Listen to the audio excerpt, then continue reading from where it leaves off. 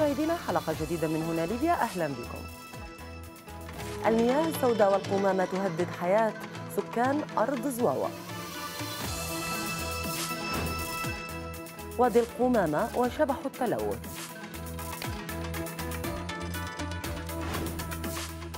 معاناة ونقص وإمكانيات بمراكز طرابلس للقلب.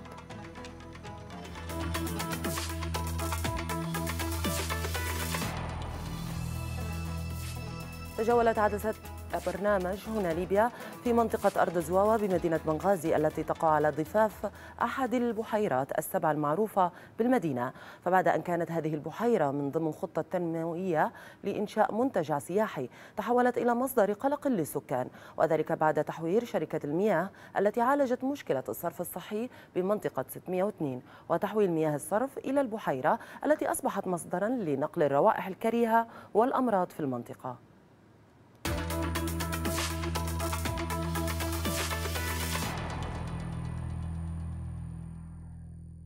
نحكوا عن موضوع المنطقة البنة الكريهة هذه والمجاري اللي انفتحها علينا من عندنا مجاري فتحها صرف المياه الامطار. هذه كارثة طبعا ونحن كمنطقة أرض زواوة مضرينا من الشيء هذا. تمام؟ وعندك العيادة منضرة العيادة يجيها نساء ويجيها أطفال ويجوها ما يعني من جميع المناطق إنهم يجوها العيادة هذه فهمتوا وفيها تطعيمات. منضره من الشيء هذا ان الجعبه المفتوحه عليها والرائحة كريهة. يعني نحن لنا كم يوم يعني لنا أسبوعين نعانوا منه الموضوع هذا. يعني بنا وصلت عندنا يطفى علينا ضي تخش علينا بنا جو في الحيشان. ما عادش نقدر ما عادش نقدر نقعدوا. يعني حتى سوى الضي ولا سوى الضي طافي ما تقدرش تقعد. حتى أكرمك الله التكييف يخشش في البنا جوا قاعد. فهمتوا نعانوا بصراحة بشكل غريب بكر من الصرف الصحي. ونعانوا من أكرمك الله القمامة عندنا أنا قمامة حتى هي في جميع التراكين من المنطقة. ما عادش تقدر تخش. لا من الدخان. أمس عندي واحد عزقنا اكرمك الله العفن وني بنته كريهة يجي مع بنت المجاري. نحن ممكن هاليومين هذين متريحين منها قلبة الريح بس. ممكن لا قدر الله شان قدر ترد علينا الريح اقرا تخش لنا جوا في الحيشان. لنا أسبوعين. والله نقول لك أي حاجة عندنا عويل صغار وفي أمس واحد ندرس معه حتى هو من المنطقة.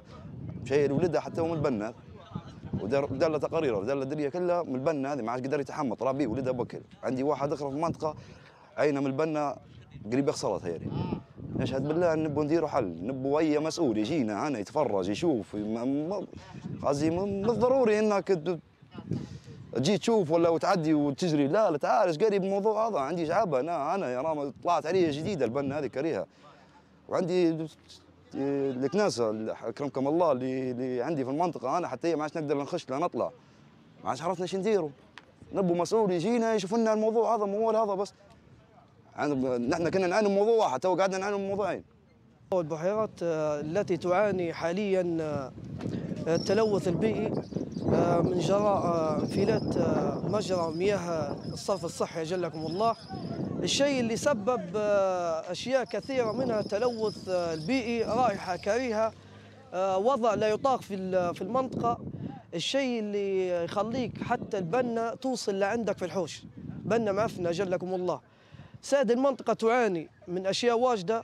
حشاكم مكب للقمامة أصبحت لا يوجد بها أي حاجات من حاجات الدولة يعني اللي أصبحت من مثل جنينات أو أشياء أخرى. آه الشيء اللي أكثر حاجة البنا توصل عندنا وما فيش أي حد مسؤول جاء أو نظر في أمرنا أو أعطانا حل. نطالب الجهات المعنية والجهات في الدولة آه أن تدير لنا حل ضروري وعاجل جدا. والله عندنا شياب وعزايز قسما بالله واطفال يعانوا من أمراض وأمراض مزمنة وقاعدين في المنطقة ويشموا في البنه هذه. إلى جانب إن البنه هذه قدام عيادة ارض شهداء أرض زواوة. كما تحدث الأهالي عن مشكلة تجمع المياه السوداء وتكدس القمامة التي تحاوط المنطقة. الأمر الذي يهدد السكان بانتشار الأوبئة مطالبين الجهات المختصة بضرورة النظر في هذا الوضع بأسرع وقت ممكن.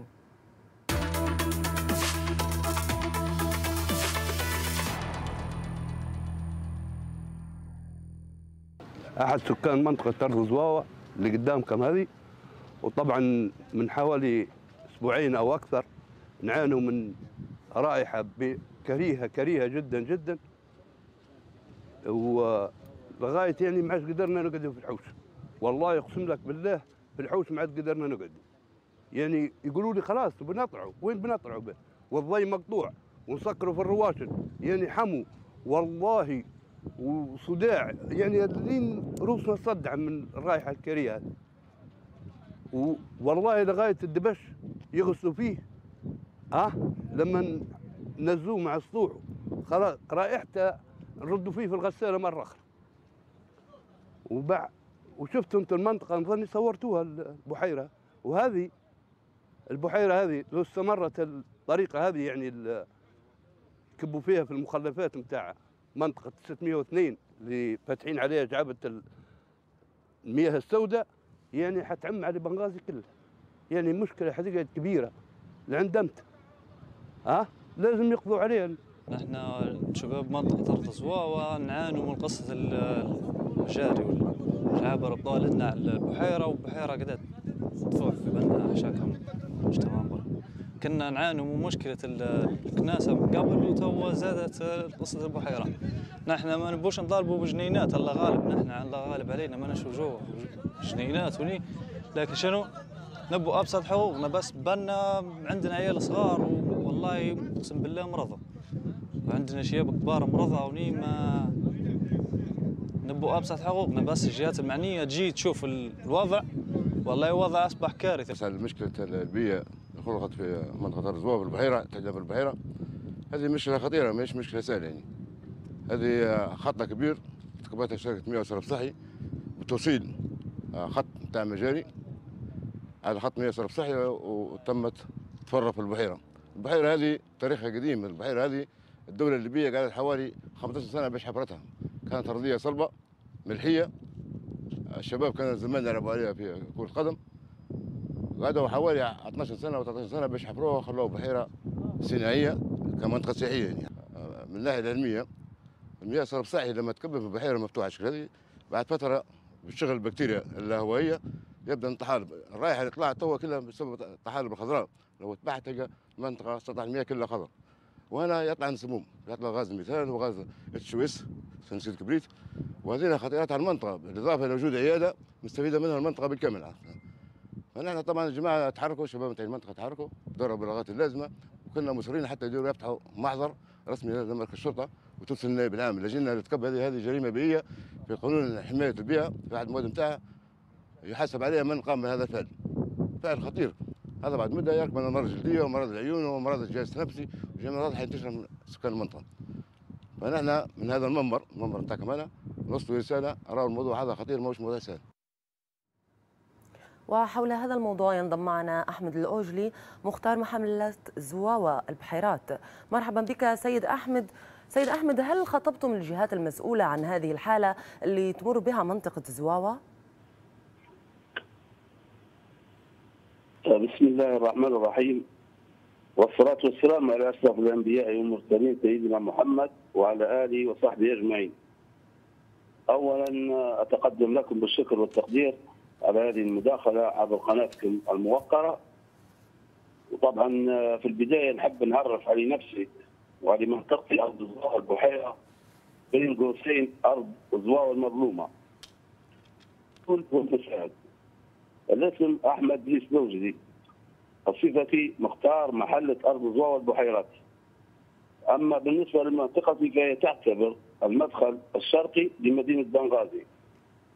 وعدد الكثافة السكانية فيها حوالي 12 ألف نسمة وعدد المرافق الخدمية التي توجد في هذه المنطقة خمس مرافق وهي ما بين مدرستين وعيادتين ومحطة GT التابعة لشركة المياه والصرف الصحي. GT 11 التابعة لشركة المياه والصرف الصحي. ومع كثرة الكثافة السكانية والمرافق الخدمية في المنطقة إلا أن المنطقة تفتقر إلى أبسط الحقوق والخدمات الأساسية والضرورية من البنية التحتية وغيرها. نعم. فهي منذ حوالي 30 سنة لم ترى فيها أو لم نرى فيها أي إعمار أو أي خدمات من البنية التحتية وغيرها. عدا مشروع واحد وهو رصف شارع الأزهر الممتد من جزيرة في يونس إلى مفترق حي المشير. نعم. وللعلم هذا الشارع يعاني من انعدام تام للرؤية الليلية ومما قد يسبب في حوادث مرورية نتيجة انعدام الإنارة الكلية بالشارع. وأما بالنسبة لسؤالك يا أستاذ هل خطبت من الجهات المسؤولة؟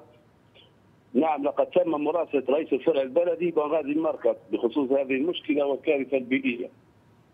وبدوره قام السيد رئيس الفرع البلدي بمراسلة ومخاطبة المجلس التسييري لبلديه بنغازي بالخصوص. كما تم التواصل بشكل شخصي مع السيد مدير إدارة سهل بنغازي للشركة العامة للمياه والصرف الصحي نعم. المهندس حمد العقيدي. وحسب ما افادني بخصوص هذه المشكلة إنه في انتظار تكليف إحدى الشركات المختصة بمعالجة مشكلة خط الصرف الصحي المكسور وقطره 1000 ملم بشارع أحمد الشارف 602 والذي يصب في محطة جي تي 11 الخاصة بالشركة وهذا الخط للأسف للأسف يعني قامت شركة نعم المياه طيب والصرف الصحي إيه. بربطه بصرف مياه الأمطار وضخه لبحيرة أرض زواوه الذي تسبب في كارثة بيئية. طيب سيد أحمد يعني نعم. من تحملوا المسؤوليه اللي قالت إيه الأوضاع غديك في مدينة زواوة أو منطقة زواوة يعني من تحملوا المسؤولية والله شو نقول لك توا بدون تحميل أي مسؤولية لأي جهة. ولكن الجهات المختصة في المدينة بصفة عامة لديها علم بهذه المشكلة. عندهم علم بالمشكلة هذه. وتسعى لحل هذه المشكلة للأسف. يعني تسعى تو هي جاهزة تسعى لحل في مثلا زيارات من الجهات المختصة جت وشافت الأوضاع هناك في المدينة على الأقل؟ طبعا آه، أستاذة طبعا أنا نطلب في هذه من عبر هذا المنبر ومن هذا المنبر. طبعا نطلب ونشدد في طلبنا طبعا نحن من كل كل من الجهات المختصة سواء مجلس التسييري بلديه بنغازي أو شركة المياه والصرف الصحي نعم أو هيئة البيئة للاسراع في حل هذه المشكلة. درءا للضرر وتفادي حدوث مشاكل بيئية أكبر.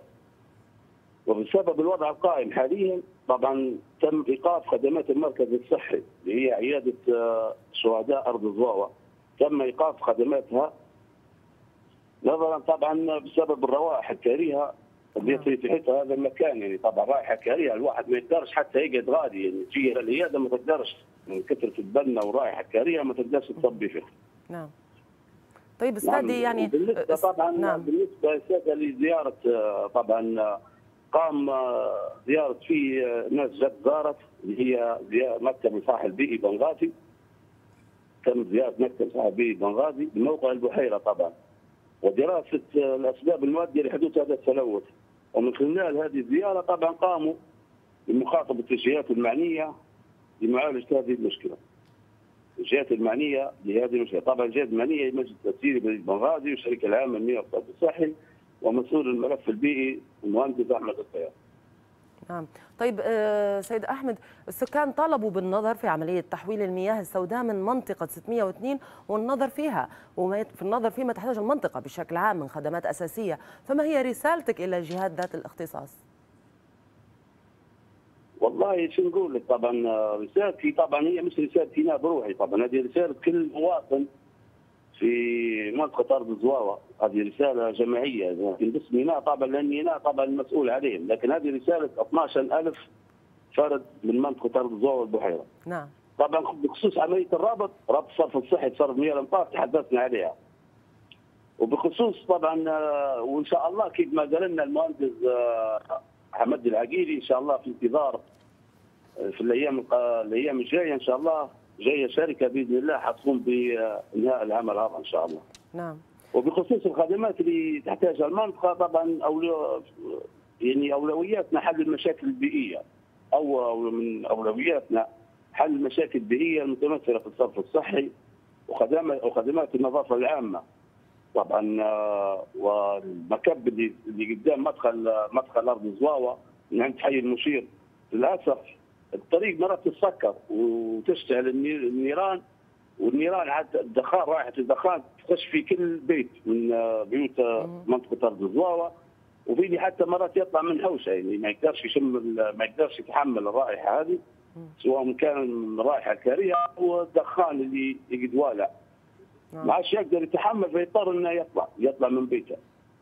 يقعد أربع أيام ثلاث أيام برا برا حوشة وبعد يتحول البنا وتحول هني يرد في ناس مرضى عندنا طبعا في كبار في السن وفي أطفال وفي من يعاني من أمراض مزمنة يعني حساسية الصدر. ما يقدرش يتحملها البنا هذه يعني أنت صعب صعب انك إنك تتحملها. نعم. ونطالب أخرى طبعا بعض الإنشاءات الخدمية يعني عندنا إحنا توا آه، نطالب به إنشاءات خدمية كالطرق وإنشاء حدائق وأعمال الكهرباء. التي تعاني من المنطقة.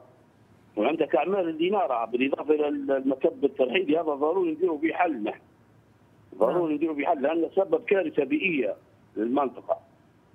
نعم سيد أحمد الأوجلي مختار محلة الزواوة البحيرات كنت معنا شكرا لك. والآن فاصل ونعود للمتابعة.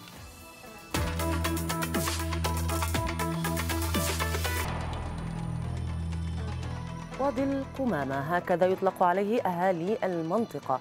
يقع في المنطقة الصناعية بمدينة البيضاء حيث يعاني سكان المناطق القريبة منه من تلوث مستمر.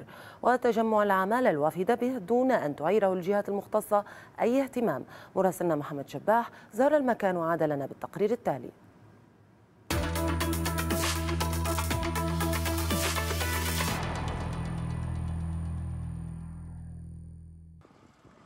هنا حيث المشاهد التي تعرض لأول مرة من المنطقة الصناعية بمدينة البيضاء حيث ما يعرف بوادي القمامة.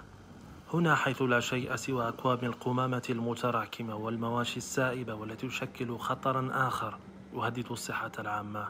فضلا عن العمالة الوافدة والمهاجرين الذين اتخذوا من هذا المكان مأوى للعيش غير مبالين بخطورة إصابتهم المحتملة بالأمراض والأوبئة. المجلس البلدي البيضاء بدوره برر موقفه باتخاذ حزمة من الحلول منها طرح مقترح مصنع التدوير. فهذه مشكلة نحن نعانوا منها وعرض علينا نائب رئيس الوزراء أن نوردوا مصنع من من دولة تركيا ووصلنا الكتالوجات وقعدات عندنا موجودات وقدمنا مذكرة ووعدونا الفترة الأولى بحيث إنهم يوردوا لنا ال- ال- المصنع. بحيث إن نركبوه جنب ال- المكب بتاع القمامة وكانت في أرض واتية ممتده البلدية وما زالت جاهزة الأرض على على نقيموا عليها المكب. طبعا إحنا مكلفين حوالي 2000 غادي في المكب كلفتني البلدية بحيث انه ما يصيرش أي تسكير في في المجاري اللي مع وسط المكب يردا طبعا على المدينة. ويسبب لنا مشكلة فنحن نزلنا 2000 غادي قاعدة تشتغل تو الان والأسبوع الجاي إن شاء الله عندنا موعد مع نائب رئيس الوزراء بخصوص آه، المكب آه، بحيث إنه يوفر لنا آه، مصنع نفس البلديات المجاورة. آفات وأمراض يصدرها هذا المكان والذي بات دخانه المتصاعد يجوب بيوت المدينة بشكل متكرر مخلفا آثارا صحية ضارة. بتأثر بشكل سيء على على الصحة خصوصا أكثر شيء يعني إحنا عارفين انه هو يأثر على الجهاز التنفسي. إحنا عندنا للأسف حالات مر- مرضية واجد آه، تشكي من آلام أو من مشاكل دائمة في في الجهاز التنفسي ما بين ربو ما بين أمراض ال- الرئة المزمنة وغيرها من الأمراض. حتى ال- ال- ال- البكتيريا ال- الأطفال أحيانا ممكن ينتقل لهم عادي جدا ال- القمامة ممكن بشكل أو بآخر الطفل لو تعرض لها ممكن تسبب لنا حتى مشاكل في الجهاز الهضمي ما بين آه، نزلات و, و نزل سواء نزلات معوية أو حتى التهابات آه، التهابات مع الوقت غياب الخطط المستعجلة لتوفير مكان أكثر أمنا للنفايات وفي غياب عملية فصل هذه النفايات خاصة الطبية منها مما يعد استمرارها سببا إضافيا لانتشار الأمراض الوبائية التي تسجلها المنطقة بأرقام كبيرة. فإلى متى تستمر هذه الأزمة وسط عجز حكومي واضح في إيجاد حل عاجل؟ محمد الشباح WTV البيضاء.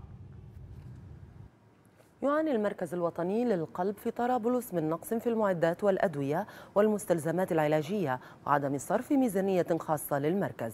الأمر الذي سبب في عدم قدرة المركز على توفير الخدمات للمواطن بشكل مستمر ويعتبر المركز هو الوحيد في ليبيا المتخصص في علاج الأمراض القلبية حيث يستقبل في حالات يومية من كافة المناطق الليبية.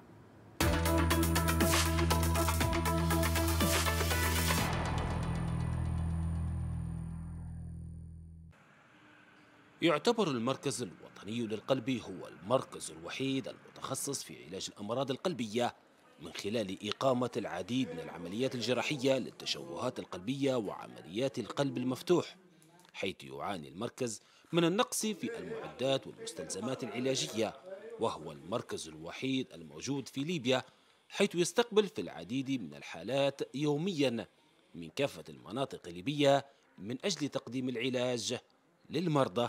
لأن طبعا إحنا نعاني من بعض المشاكل والنقص في بعض الأدوية والمستلزمات الطبية وبعض المعدات اللي يحتاجها المركز لتطوير الخدمة فطبعا للأسف يعني ما هيش متوفرة يعني في جهاز الإمداد ولا متوفر ولا ولا بإمكان المركز أنه هو يعني شراء. حتى لو الشراء كان بكميات بسيطة وخجولة جدا من أجل أنه الاستمرار الشغل داخل المركز إضافة الأخرى طبعا الأمور اللي هي عندنا أقسام مساندة طبعا عندنا قسم النساء والولادة وعندنا الأطفال العام وعندنا الغسيل الكلوي طبعا هذه كلها تحتاج إلى مصروف وتحتاج إلى مواد ومستلزمات. إلى أن للأسف يعني آه، نعاني من مشاكل كبيرة يعني في من حين لآخر في النقص في في الأدوية والمعدات الطبية. نقص في الموارد المالية أو عدم صرف ميزانيات خاصة أعاقت المركز في توفير أهم الاحتياجات التي يحتاجها المريض أثناء العمليات من دعامات وبطاريات حيث يصل سعرها إلى المئة وخمسون ألف دينار وهو رقم كبير لا يستطيع المواطن البسيط توفيره بسبب غياب الدولة وعدم الاهتمام بهذا المرفق مما له من أهمية في توفير العلاج للمرضى. يعني من نقص كبير في الموارد المالية يعني الموارد المالية بصراحة يعني فيه فيه يعني فيه يعني القيمة المخصصة يعني في الميزانية لا تفي بالتطور اللي شهد المركز الوطني للقلب والخدمات اللي قدم فيها. أنا عندي بطاريات ممكن تسوى 120 ألف البطارية الواحدة وعندي بطاريات تسوى يعني سعرها في في من الشركة فهمتني ب 67 وفي 8 وفي 85 وفي اللي ب 13 وفي اللي ب 18 يعني المريض المريض الليبي مسكين مين بيجيب؟ والله للأمانة في عندي شوية نواقص زي الجهاز التنفس الصناعي. عندي زي ما يقولوا آه، سعة ثلاثة فقط. يعني أنا ماذا بي أكثر لأن أنا العناية بتاعي تسعة قريب 12 سرير. 12 سرير هي المفروض كل سرير عندها mechanical vent إحنا نقوله. فهذا يعتبر نقص حتى هو. آه شنو تاني؟ في شوية حاجات تانية بسيطة حتى للأمانة. من المفترض أنه يندعم أكثر لأن فينا وقت كقسم فيه. وعود كثيرة تلقاها المركز من قبل المسؤولين من أجل توفير أهم الاحتياجات التي يحتاجها ولكن إلى حد هذه اللحظة لم يتم التواصل مع إدارة المركز من أجل توفير كافة المتطلبات ليكون السؤال هنا إلى متى سوف يستمر هذا الإهمال لمثل هذه القطاعات المهمة والحساسة من أجل التقليل من معاناة المواطن من تكبد تكاليف العلاج وعناء السفر إلى الخارج. عز الدين أبو العوينات WTV طرابلس. وبهذا نصل إلى نهاية حلقتنا. أمسية طيبة وإلى اللقاء.